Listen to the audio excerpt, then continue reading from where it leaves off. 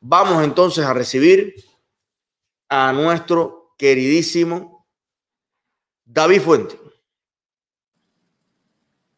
¿Cómo está, mi hermano? Bien, tremendo gusto de estar aquí con, contigo y con la pila de cubanos libres que hay en, en el espacio tuyo. Gracias por la oportunidad. Óigame, usted siempre tan elegante. Eh, parece que estoy hablando con el gobernador de Kentucky. Súbemelo un poquito. Gracias. Tú siempre tirando flores ahí a, a diestra y siniestra. Bueno, eh, dicen que quien, quien siembra flores, flores recibe. Quien siembra espinas, pues, pues eso. Y tú has sembrado mucho en la comunidad de Kentucky. Y antes de entrar en la desgracia, me gustaría preguntarte, David, en todos estos años que llevas batallando con la comunidad cubana en Kentucky, con todo lo que ello implica, eh, ¿cuántos años son y qué, qué diferencia hay entre hoy en lo que se ha logrado a cuando empezaste tú a unir a la gente allá y a representarlo? Bueno, es de la noche a la mañana. Primero porque mm, hace 20 años, que es el tiempo que yo, yo vivo acá, habían eh, unos 500, no, no, pasaban de 700 cubanos. Y hoy día eh, todavía el número oficial del censo 2020 todavía no está, pero en lo personal yo estimo que sobrepasamos los 30 a 35 mil cubanos. Entonces, eh, cuando ves eh, la cantidad que ha llegado, y bueno, te iba a hablar de ese tema en, un ratico, quería tocarte un par de cosas para actualizarte la comunidad y ves esa masa emprendedora, pujante que hay aquí, que han transformado Kentucky para bien, gracias a Dios. Tú sabes, con la cantidad de negocios, con la cantidad de profesionales, con la cantidad de gente que no importa si tienen estudio o no, tú, tú los ves que ya están en la factoría y aplican para otra posición mejor, son supervisores, se compran su casa, eh, eh, mandan a los muchachos a la universidad. Tú sabes, es, una diferencia enorme que al final se, se ve en prosperidad, en, en, cosas positivas.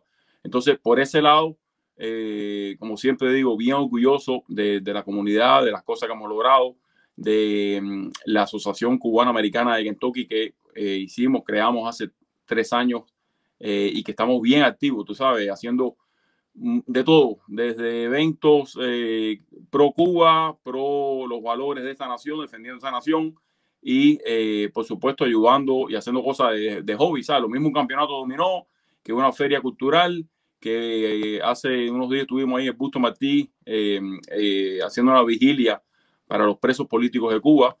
Y como eso, tú sabes, muchas cosas bien activadas, como decimos, y eh, para bien eh, hay un despertar, creo que todo el mundo está de acuerdo con esto, en la mentalidad y en, y en el patriotismo de los cubanos. Hace cinco años a mí me era difícil encontrar un joven que hablara de patria, que mencionara la palabra dictadura, que dijera, eh, eh, eh, sabe, que expresara un poquito sentimientos para con Cuba. Tú hablabas con cualquiera y era reggaetón o fútbol. Y gracias a la labor, de hecho, eh, ahí está la mano de todos los influencers y de esta magia de Internet atrás.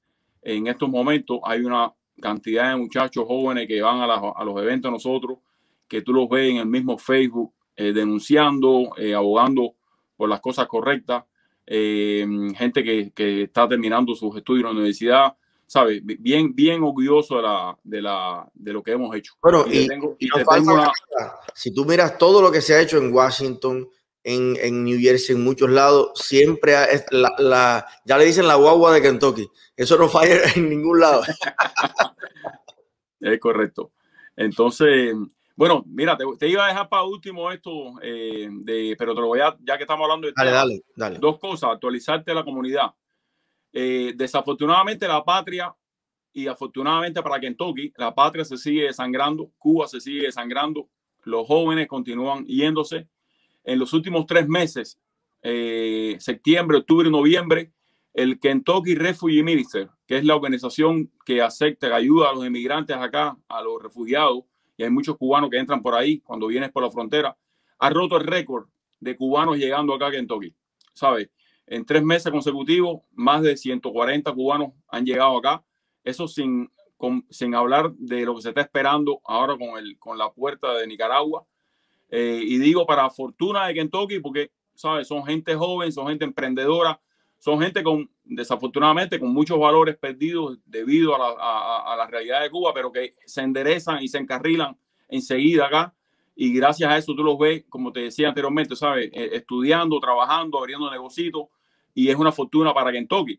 Es una desgracia para Cuba porque, como dije, se sigue sangrando lo mejor de nosotros, personas que eh, desean prosperar, gente que quiere abrir negocio, que como siempre digo, no me canso de repetirlo, pudieran haber estar haciéndolo en Cuba, imponiendo sus impuestos allá, contratando a, sus, a sus primos, a sus familiares, eh, creando riqueza y lo vienen a hacer acá. Estamos hablando de desde jóvenes, bien, ¿sabe? Eh, normalmente preparados, hasta deportistas, artistas, científicos. Lo mejor de Cuba se sigue yendo y, y, nada, eh, tristeza por un lado y, vergüenza para los dictadores de, de, de, lo que estamos, tú sabes, de, lo que, de lo que ha sucedido. Entonces, eso es lo primero. Lo segundo, como la comunidad se ha desarrollado tanto, eh, estamos en condiciones de ir un poquitico más. Y eh, dentro de los nuestros, tenemos una propuesta eh, de un cubano americano, Darían Barrios, que está corriendo en las próximas elecciones para el Congreso de los Estados Unidos. Entonces, tenemos que estar donde en todos lados estamos, estamos, estamos nosotros aquí lo mismo, estamos en una escuela de preuniversitario hablando sobre socialismo en Cuba. Estamos haciendo, como te dije, cualquier tipo de evento, pero es hora ya que tengamos, sabe, alguien de puntería de arriba. Las probabilidades, hay, hay que ser realistas, ¿sabes? No son altas, no hay presupuesto para este tipo de campaña. Estamos hablando de estas campañas, son millonarias. Nosotros es un cubano más que está luchando, que, que, es un cubano que tiene clara eh, su amor por Cuba, por la patria y más que todo por defender los valores de esta nación, los que nos hicieron enamorando esta nación. Eh, mañana, martes, él va a estar invitado gentilmente por el amigo Andrés Albuquerque en su programa a las nueve de la noche. Invito a toda la gente que está mirando esto que asista al programa ese, que él va a estar, eh, eh, Albuquerque lo va a estar entrevistando, pero es, una, tremenda, una tremenda propuesta, un, un, shot, como decimos nosotros, a largo plazo, porque estamos hablando del Congreso de los Estados Unidos, sea, no estamos hablando de un, de un cargo local, estamos hablando de, de grandes ligas. Entonces, nada, eh, quiero que mañana invitarlos que estén en el programa de Buqueque para que escuchen la propuesta de él. Uno más de nosotros, cualquier ayuda, cualquier empuje, súper agradecido vamos a estar porque estamos necesitando eso. Donde quiera un cubano, tenemos que estar. Eh, eh, eso mismo te iba a decir, que em, hay muchos ejemplos en los Estados Unidos de personas, incluso la campaña del propio Barack Obama, que fue como, como lo catalogan los analistas, una campaña de cinco pesos pero cinco pesos que pongan 20 millones de personas son 200 millones de dólares. Exactamente. yo creo que, que, que, esto hay que darlo a conocer por todas partes y, y, y si es posible, a mí me gustaría, eh, mañana no me lo pierdo con Albuquerque, y si tú pudieras cuadrar para que, por ejemplo, pasado mañana, yo creo que él debe salir en todos los medios de todos los influencers cubanos, eh, esté aquí con nosotros y básicamente eh, eh, tratar de estructurar entre todos un ABC de qué puede hacer cada cubano concreto de entra a esta página, apóyame aquí, ponme esto. Yo, yo lo voy a apoyar directamente ya, pero quiero que cada seguidor de nuestro canal, que ya somos una plataforma entre YouTube y Facebook, eh, Instagram y Twitter de medio millón de personas, entonces tenemos que, que, sumar y además cada cubano tiene primos, tiene tíos, está casado con una americana que tiene una familia. Entonces, esto es un cargo federal, un cargo nacional. Hay que apoyarlo desde todos los lugares. Así que eh, mira a ver eh, si puedes cuadrarme eso. Yo sé que Albuquerque, además que es uno de los gentes que yo más respeto, eh, yo a mí me ha propuesto mucha gente hacer proyectos en mi canal y solo he, aprobado uno, Albuquerque. Albuquerque para mí, yo mucho de lo que enseño aquí lo aprendo allí. Es correcto, 100% de acuerdo. Un tipo muy ético, un caballero de verdad de, en extinción. Entonces, vamos a hacer eso. Y vamos ahora entonces a la parte eh, incómoda. ¿Cómo nos afectó el tornado? Mira, eh, desafortunadamente el fin de semana fue bastante triste para el Commonwealth de Kentucky, ¿sabes? El estado de Kentucky eh, fue golpeado por, ¿sabes? Este, una serie de tornados. Hasta ahora hay registrados cuatro oficialmente. Yo no soy meteorólogo, eh, me pusiste a estudiar un poquito, pero bueno, la opinión mía, por supuesto, no es absoluta, solamente voy a, a, compartir lo que al tanto he estado.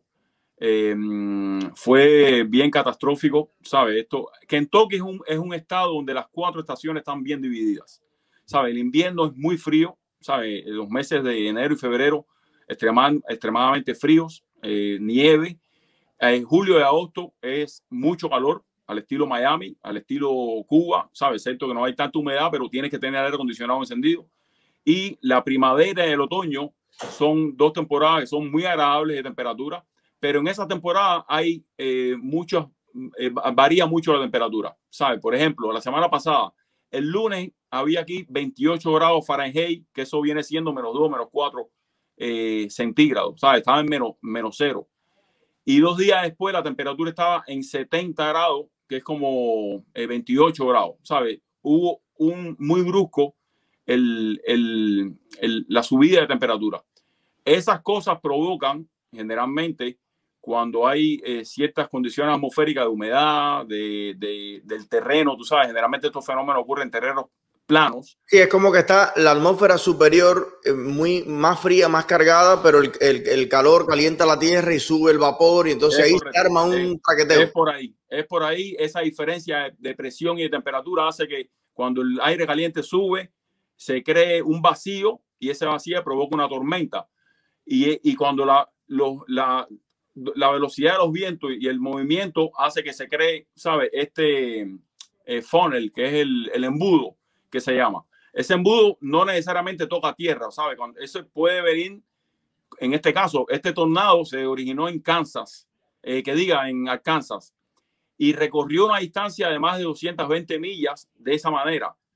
Desafortunadamente tocó tierra en, esta, en este pueblo de, de Kentucky, se llama Mayfield, y fue desastroso. ¿saben? En estos momentos hay confirmados 64 personas que han muerto, que han muerto, eh, hay muchas personas desaparecidas, lo que quiere decir que este número va a aumentar.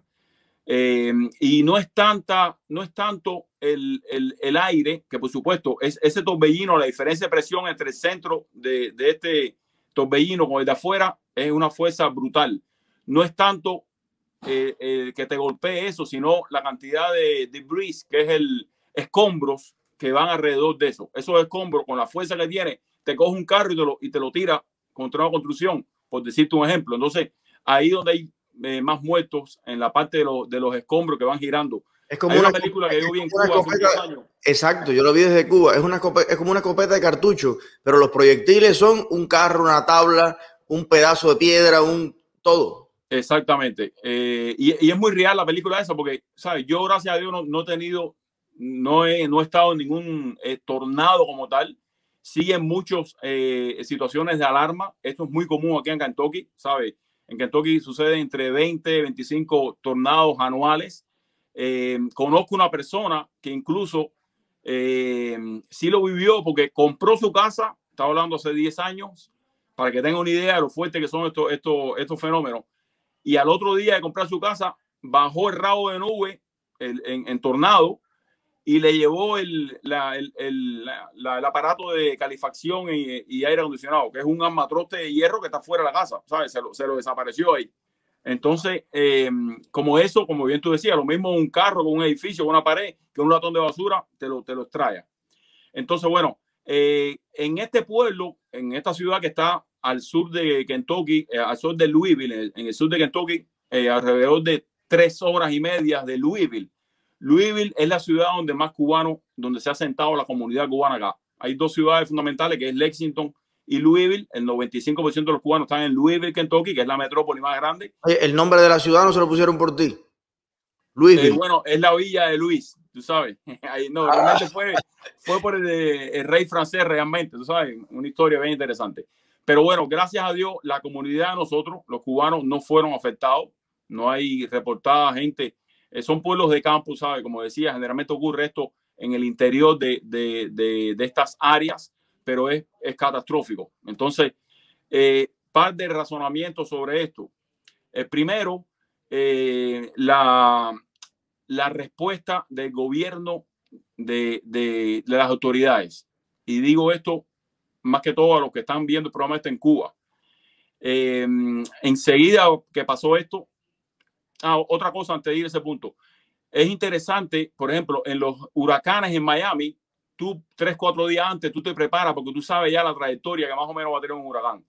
La diferencia con los tornados es que vienen, eh, como decía, ese rabo de nube viene sin tocar tierra, atravesando varios estados y de pronto baja, ¿sabes? Entonces, de hecho, aquí para tú entrar a trabajar en cualquier lugar te hacen un training, un entrenamiento y te incluyen cómo protegerte un tornado. Y en todos los centros de trabajo, en todas las factorías, en todos los lugares, hay un área eh, eh, determinada para cubrirte de los tornados. Y de hecho, las casas, la mayoría de las casas acá en Kentucky tienen un basement, un sótano, que es precisamente para eso, porque se, supone, eh, ¿sabes? Cuando viene para arriba de ti, ahí no hay, no quien te, te proteja, pero eh, generalmente cuando tú te vas a un lugar protegido, ¿sabes? bajo tierra, tienes más probabilidades de, de, sobrevivir en caso que te toque.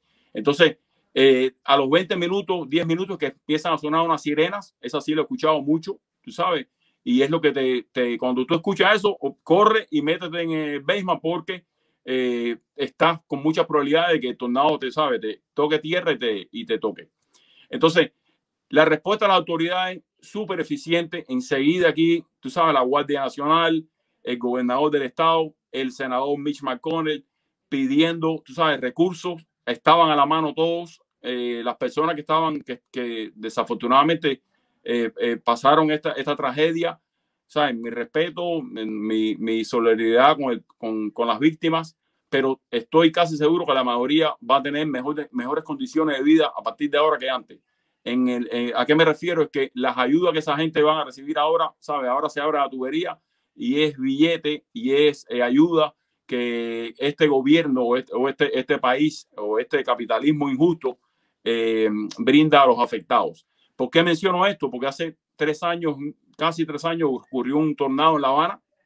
Eh, de hecho, la comunidad de nosotros recogió un dinero acá, como cinco mil dólares. Mandamos a un pastor de la comunidad a regla directamente entregar ese dinero y varios de nosotros apadrinamos a personas que habían sido afectadas y tres años después estamos todavía apadrinándolas y están comiendo gracias a nosotros, porque eh, eh, todo lo que prometieron de que iban a arreglar, de que iban a ayudar, eso por, por, lo menos de primera mano te puedo decir que fue falso. Hay gente en Cuba del tornado de, de regla que está con el, sin el mismo techo que se llevó el tornado, con las mismas limitaciones y con el mismo problema y comiendo gracias a, repito, mucha gente que lo está ayudando afuera. Entonces, es, es un contraste. Por eso sí, a, a, esa gente a, esa gente de, Kentucky nadie le va a mandar nada desde ningún país.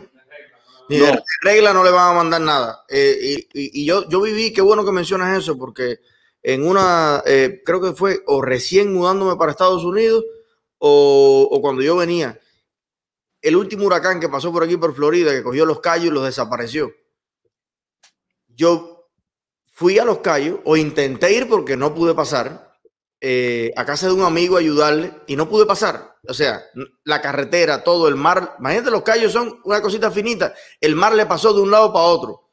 Las casas se construyen altas hasta para eso. Bueno, desapareció Los Cayos. Y, esa era la palabra, todo el mundo, Los Cayos desaparecieron.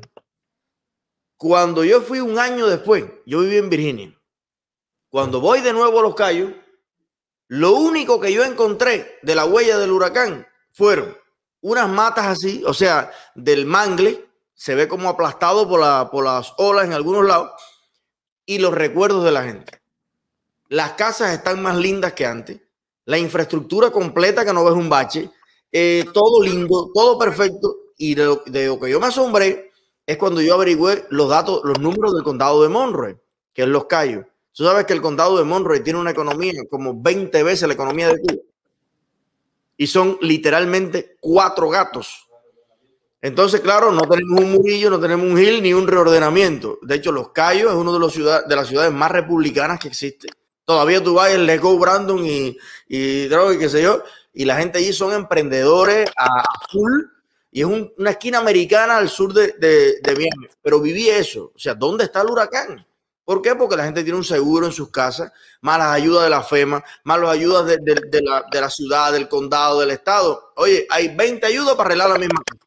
Entonces ya la casa que era de un piso, que se le llevó el huracán, ahora la gente la construyó de tres. Más lindo todavía. Es correcto. Mira, para terminar, eh, no puedo irme sin reconocer la comunidad de nosotros. Oye, tú me disculpas, o sea, que yo soy un poco chauvinista con los cubanos aquí, pero men, eh, cada día que pasa y cada eh, ocasión de esta y cada situación de esta te enseña y te deja ver lo mejor de, las personas. Ese, eso no fue el sábado en la madrugada, es de viernes para sábado. El mismo sábado ya habían gente aquí llamándome por teléfono, diciéndome, ¿sabes? Cubanos, Oye, tengo materiales de construcción que los puedo donar. Oye, tengo un camión que para trasladar vehículos que estoy ahí disponible.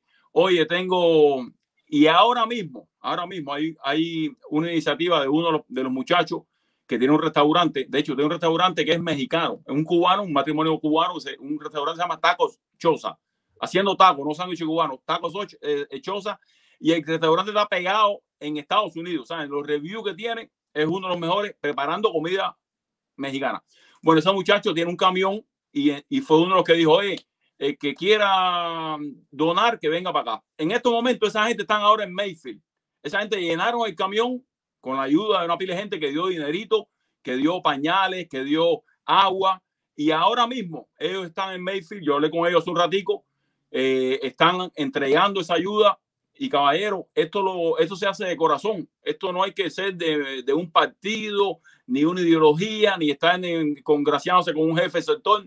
Aquí sencillamente se hizo porque se ama este país, porque se agradece a este país y, y quiero reconocer eso. Hay una pila de cubanos aquí bueno, hay gente que están haciendo cosas buenas y, y, y no puedo ir sin, sin mencionar a esta gente, que son muchos, ¿veis? Mucha gente, el teléfono no ha parado desde, desde, el, desde el sábado gente de otros eh, lugares preguntándonos, pero más que todo gente diciendo, oye, ¿qué hago? Mira, tengo esto, eh, ¿qué, ¿qué, puedo hacer? Y ahora mismo hay un camión de nosotros, de los que entubaron, están ahí eh, ayudando a los americanos, tú sabes, el granito de arena, pero es súper reconocido y te digo, no me puedo quedar callado porque son cosas que te enseñan en estos momentos. La, la, gente en Cuba cree, de nosotros. La gente en Cuba cree que sin partido y sin factores y sin comisiones y sin no sé qué, no, no, no se puede organizar nada. Y si ellos supieran que la solidaridad más grande, más efectiva y más linda que existe es esa de corazón de una persona que no es porque nadie, no es para, ni para ser vanguardia, ni para ganarse un teléfono, ni para ganarse un televisor, ni una misión, es simplemente para estar bien con su alma y con su espíritu. Yo tengo comida, más de la que, de la, de la que necesito incluso, o tengo lo elemental para mis hijos, y yo tengo un restaurante, tengo lo que sea. Oye, yo he escuchado iniciativas cuando lo de New Orleans y todo, de negocios que estuvieron por años dos, tres años, que todos los afectados de, todas estas cosas podían ir a comer de gratis, a desayunar de gratis. Los niños ni se digan. Y, nadie te está obligando a hacer eso, que es lo bonito de la solidaridad. Es, eh, porque el cubano es bueno, pero no el cubano, yo creo que el ser humano es bueno. Esos mismos que tienen el restaurante mexicano, que por favor pásame el contacto también, que me gustaría entrevistarlo. A lo mejor tuvieron que esperar dos años en México antes de cruzar para Estados Unidos, sabrá Dios cuál es su historia, pero el cubano siempre está aprendiendo. Y cuando llegaron allí dijeron, mira, hay un restaurante cubano, un restaurante cubano, pues yo voy a hacer lo que yo aprendí allí. Y, esa es la belleza de, del mundo libre. En, en, Cuba no puedes hacer ni un cubano, dime tú un restaurante mexicano. Oye, un abrazo, Luis, siempre agradecido y, y loco porque choquemos la bola de nuevo. Sé que estuviste por Miami que no me llamaste, pero la próxima vez que venga, pues yo siempre me entero de todo. Te perdiste el paseito del barco, de todo. No, está Chucho con una vergüenza aquí porque dice que le dejaron eso a él y todo. Mira, tú, mencionaste ahorita Luis Orlando el, Pardolazo. Él estuvo aquí con el Chucho casualmente. Hace dos o tres años hicimos aquí un encuentro de influencer. ¿Verdad que y sí? Vinieron los dos, pero definitivamente eh, voy a comprar el libro ese porque, porque me llama la atención. Oye, gracias miles por lo que está. Gracias por la labor de todo el piquete, men. Saludos a Machucho, un abrazo fuerte para él. Pero gracias, lo estaba hablando ahorita mismo, lo instructiva de las directas, los temas que toca, la, la variedad de, de, cosas, la enseñanza. Men, agradecido de corazón. agradecido a ustedes y vamos a seguir creciendo en todas partes porque esa es la galleta, la galleta más grande que un cubano que sale del comunismo le da al comunismo es prosperar. Tú no tienes fíjate tú, que tú sin, sin decirle, sin decir abajo el comunismo, tú en el comunismo no tenías ropa, ni zapatos, ni bicicleta, ni nada que sea. Tú sales del comunismo y tienes tu propia casa, tu carro, tu trabajo, te desarrollas, abres tu cosa, tu negocio. Tu vida es tu discurso. Ahorita, ahorita Luis dijo algo y que es bastante curioso y es que si se confirma que hay 35 mil cubanos y hace 20 años eran apenas 500, 700, eso indica que en, en los últimos 20 años a razón de cuatro cubanos diarios llegaron a Kentucky. Mira, tenemos un estadístico, un estadístico aquí. Ahí tenemos. Mejor que Gil. No, eso es serio, eso es una, no, pero además es una cosa muy seria, porque estamos hablando solo de Kentucky. Eso es como decirle a un político cubano, fíjate, aquí todos los días durante 20 años han llegado cuatro cubanos diarios, de domingo a domingo. Oye, son gente jóvenes, que son gente que están dejando de parir en Cuba, que están envejeciendo la población, que están dejando lo mejor, los mejores años aquí de su vida desarrollando Kentucky, ¿ok? Porque los cubanos aquí sobrepasan los 100 millones de dólares que inyectan a la economía, tú sabes, en, movimiento. En Louisville nada más. Imagínate eso ahí en el Yaray de Vázquez. Somos unos duros, hay que decirlo. Olvídate de eso. Un abrazo. gracias. gracias. Gracias. Óigame, qué, qué gran persona. Y mira, e, esto, esto es una vida de éxito y de servicio dedicado a, la comunidad. Es un tipo que no aspira a otra cosa que, fíjate que si quiere les, ni se lo reconoce, ni se... No, no, no, no. Este hombre lleva trabajando por la comunidad cubana en Kentucky cuando nadie escuchaba. Pero se enteraba que se mudaba un cubano, para allá iba. Dime en qué te podemos ayudar, cómo podemos hacer. Y es algo que yo quiero implementar aquí en Miami, porque parece que la gente dice, en, en, en, en Estados Unidos está todo inventado. Bueno, yo he visto que en Miami hay muchas cosas que no están inventadas y que hacen falta hacer. Y hay algunas comunidades que lo hacen mejor que nosotros aquí en Miami. Por ejemplo, esta gente de Kentucky, la comunidad cubana, ahí olvídate de izquierda, derecha, de, nada. Tú le votas a quien te dé la gana. Pero todo el mundo es muy unido. ¿Y qué sucede? Que llega ahora mismo cinco muchachitos allí de, de esos que cruzan la frontera allá y tienen una, es como una gallinita así que, agrupa a la gente y que además el Luis lo pone en contacto con el abogado para abrirse la compañía, con el contador para el tax ID, con el no sé qué para que el otro, con esto para que le dé la idea. Se te ocurrió una idea de negocio y tiene con quién comentarla y hasta aparece un cubano que te da el dinero para que lo empiece. Oye, ese es el Miami de nosotros. En Kentucky, Kentucky hay un orgullo de emprendimiento de cubanos que es del carajo. Y yo quiero hacer en Miami una vez al mes, un algo así, llevar al Pizar, llevar a Aramis Brito y llevar así varios de mis sponsors, la cosa allí, con Rey Chávez y reunirnos con el recién llegado. La casa del recién llegado, el club de recién llegado. Yo no sé cómo ponerle eso. Pero personas que a veces caen en las manos equivocadas. No todos los primos que usted tiene en Miami es la mejor persona para aconsejarte, para decirte, para estar aquí lo hemos visto. Entonces, si usted puede llegar, llegó la semana pasada, yo soy un mero asistir a este lugar donde tú puedas hacer todas las preguntas que tú tienes. ¿Tú te imaginas una persona que acaba de llegar a Estados Unidos? ¿Cuántas preguntas tiene? Sobre todas las cosas en la vida. ¿Cómo puedo comprar un transporte? ¿Cómo puedo conseguir? ¿Cómo decir? Pero ¿cómo, cómo declaro impuestos? ¿Cómo hago esto?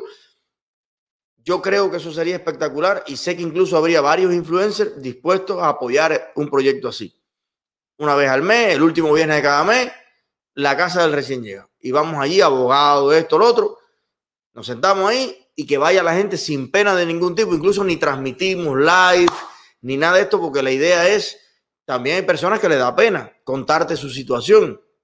Y, yo conozco de personas que nunca le han contado a nadie que vivieron un mes en la calle.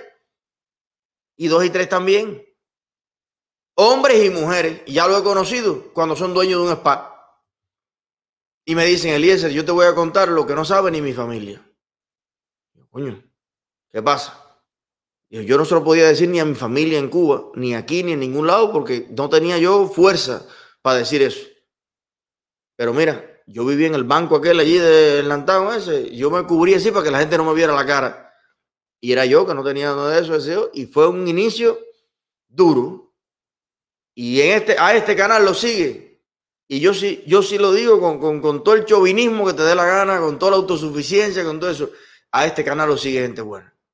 Gente buena, de verdad. Esto no es aquí el club de, de, vamos a ponernos a comer mierda aquí tres horas. No, no, no. A este canal lo sigue gente que se entera que hay un joven, una muchacha, un quien sea, que por no estar aguantando eh, hasta, hasta, hasta maltrato, está en la calle y yo, yo tengo eh, personas y yo mismo aquí y yo levanto el teléfono y dicen, mándamelo para acá, que yo le preparo el sofá cada mes y lo encamino y lo aconsejo y sacamos de ahí los mejores valores de este muchacho y una gente buena aquí en la comunidad. Y no tiene que caer ni en esto, ni en aquello, ni en lo otro, ni en lo otro. Y yo creo que nosotros tenemos que ser los primeros Después está la FEMA, el social security, este que le dicen, el tititi, el tacatá, los tuyos, los cubanos. Lo primero. Y yo no creo en eso de que todo el mundo es mal agradecido, ni que todo el mundo es. No, no, no, no, no, no, no. No es el ejemplo de mi vida, te lo digo sinceramente. Yo he conocido aquí una cantidad de gente buena, con vergüenza, agradecido, para adelante, y sí vale la pena eh, tendernos la mano entre nosotros. Sí vale la pena.